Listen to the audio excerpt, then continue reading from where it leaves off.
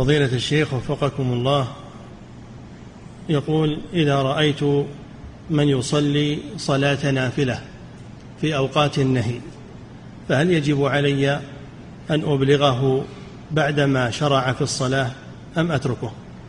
كانت تحية المسجد تحية المسجد فيها خلاف لا فلا تنكر عليه.